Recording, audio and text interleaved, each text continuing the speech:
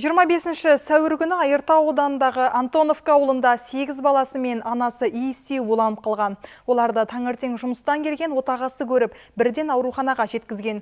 Анасының жағдайы жақсарып бүгін үйіне жіберілді.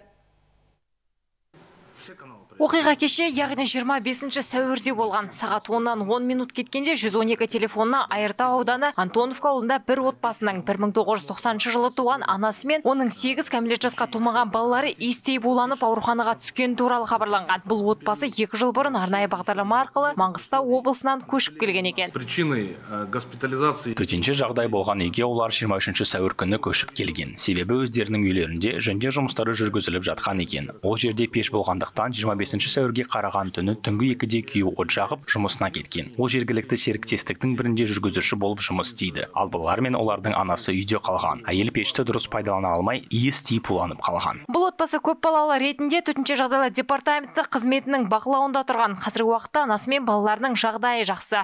Хочу сказать, что в 9.15 Айыртау аудандық ауруханаға анасы мен балалары 9-дан 15 кеткенде жеткізілді. Медицина қызметкерлері науқастардың жағдайын тез арада бақылап, анасы мен үш баласын терапевтік бөлімге жатқызды. Ал қалған 5 баланың жағдайы ауыр болғандықтан жансақтау бөліміне жатқызылған еді. Қазіргі уақытта барлығына ем-дом көрсетілді. Бүгін жағдайлары жақсы, 8 баланың барлығы балалар бөлімшесіне ауыстырылды. Ал анасы өзін жақсы сезінуіне байланысты үйіне жіберілді. Жалпы жыл басынан бері облыс аумағында 149 өрт фактісі тіркелген. Нәтижесінде 12 адам көз жұмған. Бұл өткен жылдың осы кезеңмен салыстырғанда 9 пайызға көп екен. Жансая Қайыпова, Орал Амренов, жаңалықтар қызметі.